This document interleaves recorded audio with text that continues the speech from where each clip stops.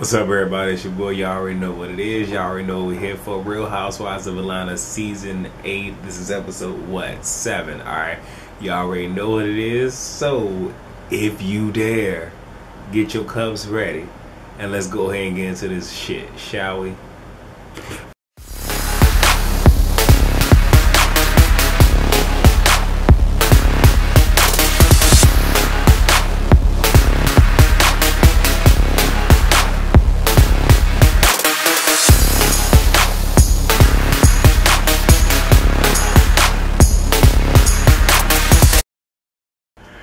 Alright, so they, they give me what I need with this shit right here. We already getting this shit popping off and whatnot. Okay, I'm gonna try to get this so I don't have to necessarily pause it. So I'm gonna try to go ahead and speed this shit up. Uh, so they play the Never Have I Ever game, and I believe, and I say believe, y'all, let me know down there if I'm wrong. I believe it was Shamea that was like, Never have I ever I had to go to shower or some shit like that.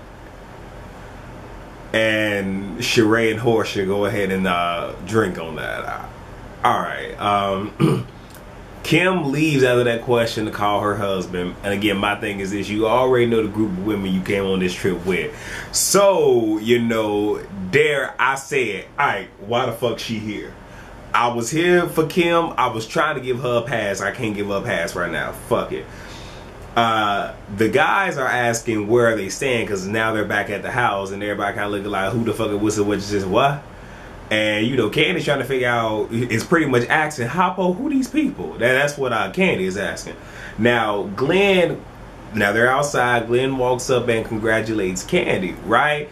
And it's a manner which he did was a little, you know, abrasive, and she's thrown because she don't know who the fuck she he is, and you know she kind of like, oh, okay, well, thank you, and you know he kind of snaps at her a little bit, I think we're all fucking confused right now. I'm fucking confused. The only thing I can think is, well, I mean, he was drunk, can't have his liquor, but I digress. What else? So, but Oliver's talking. I'm not Oliver. Uh, Glenn is talking about disrespect. You know, more of Kandi and how he will flip if he feels disrespected. All right.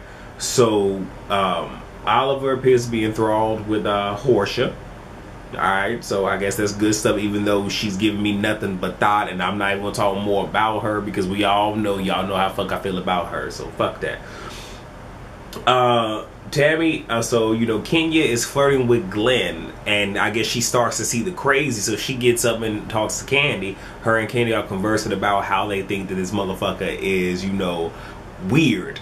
Don't don't say the fucking say, say the real motherfucking word. The motherfucker crazy, okay? Like, can you want to play crazy? You just saw fucking crazy, okay? You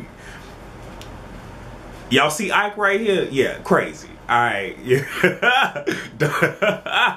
I'm just saying. I'm just saying, crazy. All right. What the fuck else? Um, let me let me grab my damn remote just in case the shit pop on. I might have to pause it on y'all ass.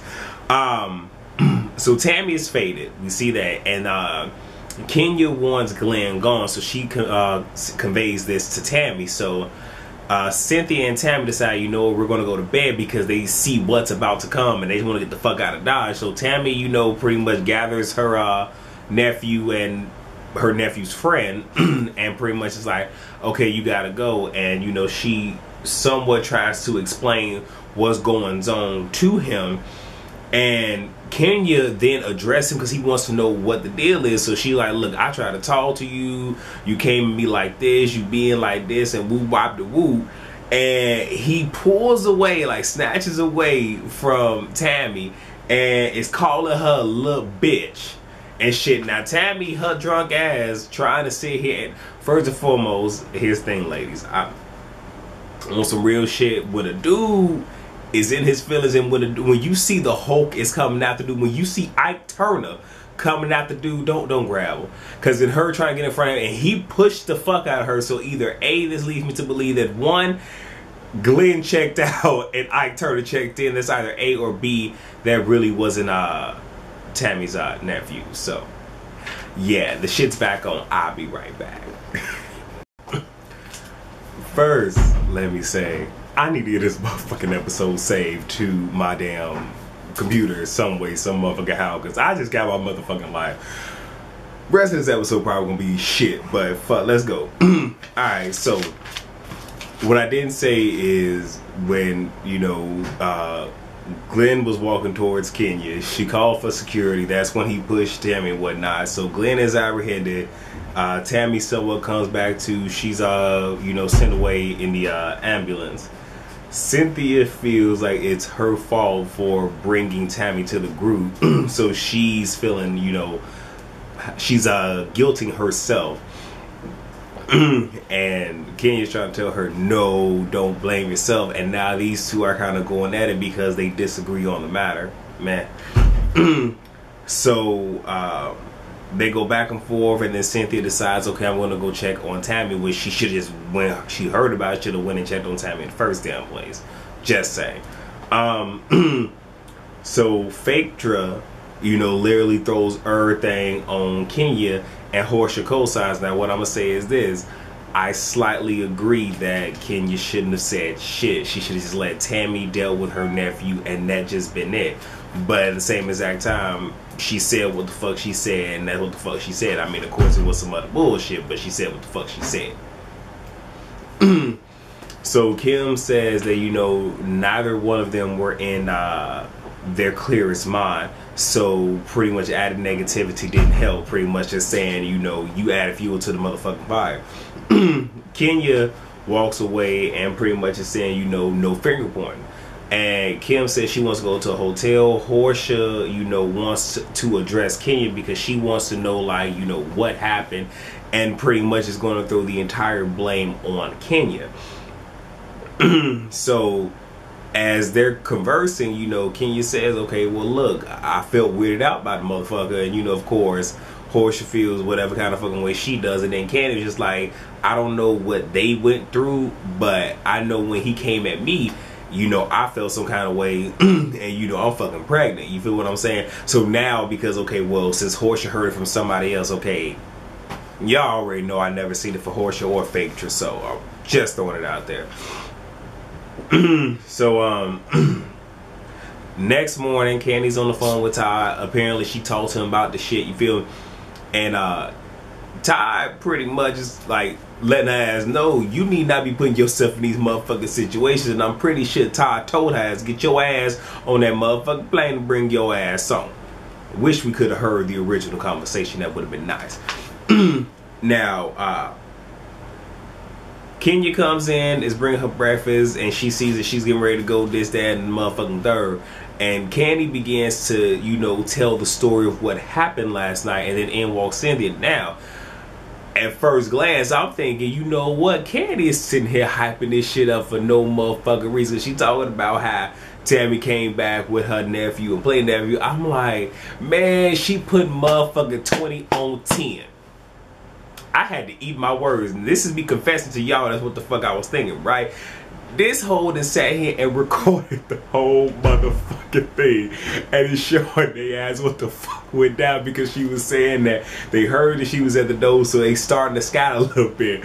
So Porsha opens the motherfucking door, right? She said Tabby, Tabby is giving her this a motherfucker. I just came from the motherfucking crib, tail from the crib keeper ass motherfucker. I just came back to life. and she kind of closed the door. I'm sorry, this shit was hella fucking funny. And then they still scurrying and whatnot. And then Kenya decides she wants to reenact what she just saw. And you know what I'm saying? Cynthia feels some kind of way. My thing is, is you feel some kind of way, you shouldn't have watched this shit. It is what the fuck it is. But this shit right here gave me all the motherfucking excitement that I fucking needed. But I'm a press play and I'll be right the fuck back. Alright, so oh fuck, I didn't just up and change channels accidentally and shit. Hold hold on, gotta get this shit back. Alright, got it. Alright, so uh Sheree is working out and Phaedra, you know, comes to talk to and whatnot. And she used this opportunity to, you know, bash Kenya and talk shit on her, about her, about how like all this is shit is, uh, you know, her fault and whatnot. when it's clear that, okay, she wasn't there for the whole entire thing. So I'm not really feeling that. Then uh, she decides to bring up Mike Brown and says that, uh, you know, she was there with her mother, this, that, and the third. The fact that she has boys, this could have been any one of our boys and whatnot. and you know beginning to bring up Sandra Bland and everybody else doing whole Black Lives Matter thing. You know what? Thank you for the public service announcement, but I do not follow her on social media. So y'all let me know what stance has she made about any of this shit. You know what I'm saying? I got it. Use this platform for it, but my thing is this: you ain't said shit about it, and now we saying some shit about it. The fuck out of here. Anyway, um, everybody on the bus now. Of course, uh Kandi went home. Come to find out that uh, what's that girl name? Uh, Kim went home too. And um, what else? Sin, uh, Cynthia calls Tammy. She says no concussion. Uh, all she had was some bruises uh, Phaedra invites her over for you know dinner and whatnot. And my whole thing is which that's a nice gesture. But if y'all was sitting here clowning this girl you feel what i'm saying? But you invite her over for dinner like some fake motherfuckers. But again this is why this motherfucker right here keeps his circle this motherfucking small. I ain't got time for that fake shit. The way. Um, so they are all are getting their little Hummers to you know drive around and see Miami, and the shit look cool. I'm like, all right, I can get with that, you know, somewhat fun and whatnot. Of course, Kenya through Shay and Kim, you know, it's to be expected. Um, so Kim is now she's at home uh, at the park with her uh, husband and children, and you know she begins to you know for, for lack of better terms have pillow talk with her husband and uh, you know he's happy that she distanced herself from the situation which i'm like all right cool got that. And uh, you know her whole thing is make sure i got my damn notes and shit right hold on. Uh, you know she uh, starts to bring up one she feels that Kenya just started shit.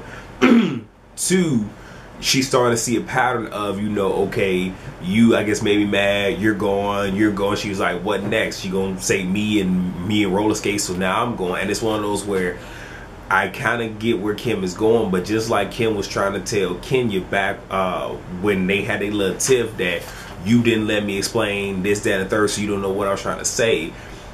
You didn't get the whole story from her so again like i said it's just like me sitting here commenting on it I don't know everything because I don't see what's on the cutting room floor. but for her to jump to such a quick conclusion like that, it, it is what it is. Everybody's gonna make their, you know, assessments and judgments based off their fucking vantage point. It is what it is. but, you know, again, I'm not really here for her husband. How the fuck, you know, he talking whatnot. You know, I'm, I'm starting to get that Mitch from him, you know. I don't know. I don't like that. And uh, you know, she bring up the project, which I was gonna bring up the project one day in my trending topics video. If y'all haven't seen it, I'll leave a link for that shit. But you know, she was just saying, given all this, she doesn't know how she gonna work with her. And you know, it's one thing if you bringing me Game of Thrones, I might deal with the bullshit. But my thing is this: from what I'm hearing, you own this show because uh, you need the motherfucking money. So my thing is this: you know, uh, when money talk, bullshit walk. And the fact that they even show like a flashback clip of when she was watching it with her husband, and he was like, "Who is that Kenya? Oh, she needs to be recast, bruh, bruh, bruh." That's all I can say. I don't have a whole lot right now, but uh, uh, is getting ready for a day with Oliver, and you know, Faith go like again she don't read on her motherfucking feet often. You know, she has a little one liners, but she tells her, you know, you have to be worthy of a ring. I wonder if anybody else caught that, but that's your motherfucking friend though. Anyway, and that's in reference to a date with Oliver. So uh Porsha opens uh I'm sorry. Tells Oliver that he met her under, I guess, unusual different circumstances, her, you know, being a thought and shit. And his whole thing is he was in mind to fucking view this that motherfucking third. You know, he like he enjoys seeing her ass and shit, and he was just like, alright, well, you know, it looked like you do squats, and she you she like, I ain't gonna be squatting on that dick. That made me think about Johnny Blaze. Squats don't work for me worth shit. It actually gets on my nerves, so I don't do them anyway. I squat on some dick. Anyway, so he moves in for a kiss and she pushes him off like whoa whoa hold the fuck on and then at the end of the day she go ahead and gives him a kiss she comes back home well to the place and you know talks to the girl shit and this one thing that i'm gonna say on some real shit not to say this many times Men will only treat you the way that you present yourself and you treat yourself. So, and here's the thing: you can tell that even though Porsha has a persona of being a, a thought, she not really one. Because when he went in for the kiss, she would have went right the fuck in with him. So you can tell that a lot of this is fucking put on. And again, it's one of those where just like again, and now on some real shit. If she keep on presenting herself like this, what like I said on some real shit, I'm not wishing no bad or no harm on her, but she gonna be real thrown when the wrong motherfucker step to her and start treating her the way that she's presenting herself. That's all I'm saying. So hopefully y'all get a little bit of inspiration, negative wisdom, what the fuck we gonna call it, right here. All right, let me go ahead and wrap this up. Before I say what I'm about to say, let me start off by saying Andy think he's slick because he pushed workout in New York back in half an hour to bring us Watch What Happens Live, right? Yeah, I smooth clicked off that. You not gonna get my fucking view because he already knows that in him doing it by the way that he was doing it, he's not getting the viewership, so he's trying to do whatever the fuck it is that he wants to do. I don't know if y'all stuck around, but fuck, I didn't. I'm finna go ahead and finish this, get this shit uploaded, and that's gonna be it, right? So, excuse me. Kandi come back. We learned that um, Kayla's back in school. She's working at the airport, so you know she's doing her own little thug dizzle. So you know, tip the yam off to her. All right. and Kandi mentions uh, Phaedra's uh, split personality to uh, Todd. and you know, it's you know, it was one of those. She was like, her being that other side of her. It was nice we got along, but she still owe my man some money. Moving on. Kim and Kenya meet up, and again, if y'all ain't seen my trending topics video, go see that shit. I even got everything in the, in the description box where if you wanted to click on a certain part, you can go click on that certain part. But I think this might be the reason that Kenya said what she said in that magazine. I'm sorry, that Kenya said what she said in the magazine about Kim probably has something to do with this altercation. And I'm thinking that this altercation and the fact that Kim, I guess, questioning somewhat, you know, bowed up to Kenya is part of the reason that she probably got the peach. I'm thinking, I don't know. But I'm, i can kind of see there might be some tips between them later on. We'll see. But they rehash the trip. Kenya mentions, you know, her family struggle, and I guess that being the reason that, you know, she left. Kim bows up. Now, we ain't seen Kim bow up yet, but she bows up at that and she says uh, she felt that Kenya was manufacturing drama, and she tells Kenya, you know, and here's the shit that got me sure. Let's be clear, sweetie, right there. That's one of those things where it's just like, okay, see, that shit is very condescending. You know what I'm saying? Because if a motherfucker talking to me, even if we only a few months apart, be like, hey, look, young buck. It's one of those ways like, okay, you trying to you know, display some fucking dominance and shit, and you, you, trying to come for me, and then that's some shit you not finna do. Like my thing is, is I would respect my elders, but truth be told, Yarell has one motherfucking mother. Her name is Rosetta. Only has one. That is the only one that's finna. She is the only person that gets a pass to say anything fucking crazy to me. The only fucking person. Let's be clear about that. But again, Kim wasn't talking to me. She was talking to Kenya. Mm, but she's like, let's be clear, sweetie. When you provoke somebody and accuse them of things, that is something I will not take part of. Again, pushing everything on Kenya. And Kenya says that, you know, that is not what happened. And Kim says, yes, it was. I was there. And of course, Kenya, you know, brings up her receipts because the reality was in a lot of these different instances, either A Kim wasn't there or she was not close enough to either hear or see a lot of the shit that was going on. You feel what I'm saying? Like I said, let me be clear. I am not Team Toro, but I will say I do feel that Kenya should not have addressed Glenn and should have let Tammy deal with it and got his ass on about the motherfucking room and whatnot. But at the same exact time, outside of that, she wasn't wrong for anything that she fucking did. And then and Obo wanna know what the deal was, so she answered the fucking question. You know what I'm saying? And uh, Kim says uh, she left because she didn't feel safe. Which is contrary to how she been making this shit seem. Because Kenya did make a good point that, you know, she felt like she was just waiting for a reason or something to, you know, justify her leaving. And this was it. I do agree with that. So Kenya makes nice with her and they agree to disagree. So that was the episode. Hopefully y'all got Not guys, because it's a mixed group. I don't mean that anyway. But hopefully you all enjoyed this review and all this other shit. Again, check me out on all my fucking social medias and whatnot. If y'all haven't seen my Love Hip Hop, you know, review for season, I'm sorry, season six, episode two of New York. Check that out. There should be an e-card in here somewhere. Also, check out my trending topics video that will be here too. check out my uh, uh, Facebook fan page. When I get leaks, that's where this shit gonna be at. Rate, comment, subscribe, and share. I will see y'all for the next video, which will be Workout New York. Peace.